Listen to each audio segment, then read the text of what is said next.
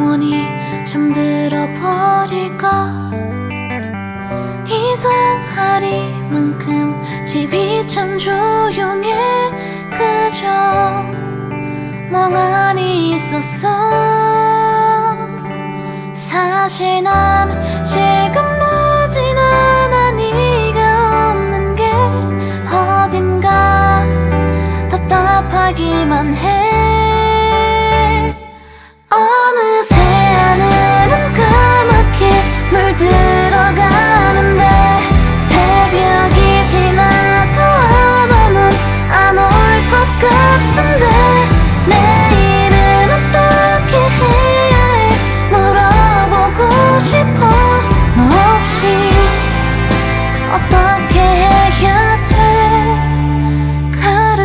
안아줄래?